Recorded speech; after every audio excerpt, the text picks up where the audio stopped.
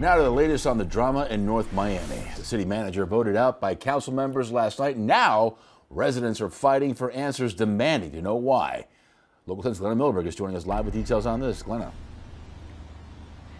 Louis, clearly three of the council members here did not heed the will of their residents, but what's not clear at all is why. Why would they want to get rid of a city manager who, by all accounts, is doing such great things for the city? Well, after all of this for the last three days, we finally get some insight from something that the city manager herself documented.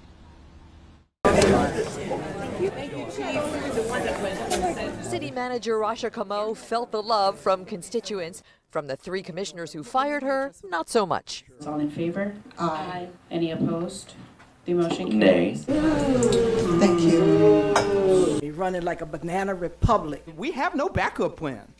I mean, there's been zero transparent reasons why she should be removed. The vice mayor didn't say, neither did the two who voted with her. The mayor wasn't there. Residents point to Cameau declining council members' requests for unbudgeted money for them to spend as she righted North Miami's financial decline. Why is she being fired? No one's answering the question. Why?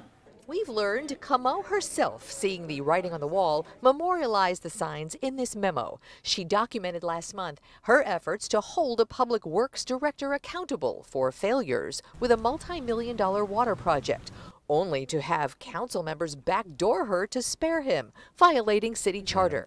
They got outsiders to intervene, she says. One, a longtime city lobbyist, who claimed to her people thought her actions were racially motivated to establish Anna Bowie Emanuel as interim um, city manager. That interim city manager suddenly named too, raising more questions since council members collaborating on that behind the scenes would violate sunshine laws. I've been a public servant for over 20 years and I will be there to serve the public again.